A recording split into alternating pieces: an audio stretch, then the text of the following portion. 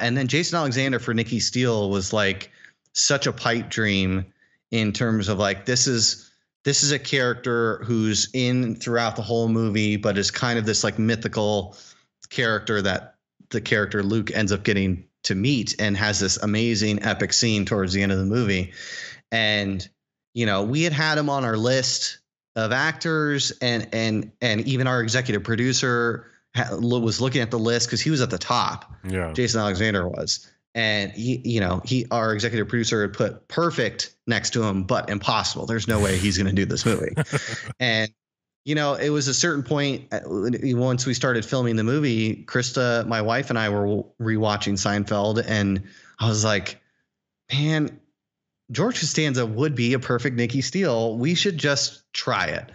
And so we found out that um, we had a connection to his agent, and Luke called and said, "Look, you know the movie."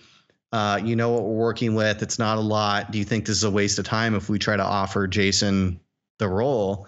And his agent said, uh, Jason only does what he loves and he reads quickly. So you're not going to waste time. You might as well send it to him.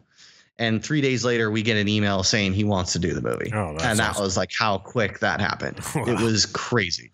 And uh, and I just like I literally was looking at my phone. I'm like, Jason Alexander's going to do this movie. How is this happening?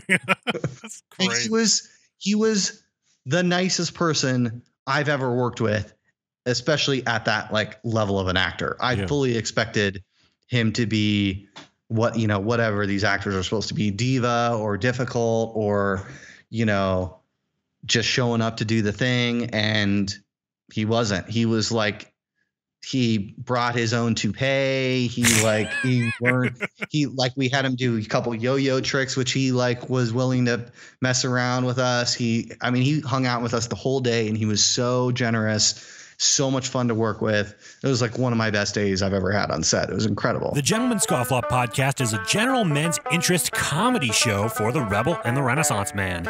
If you liked this clip, be sure to check out our full length audio and video episodes over at gentlemanscofflaw.com. You can also find us on Apple Podcasts, Spotify, or your favorite podcatcher.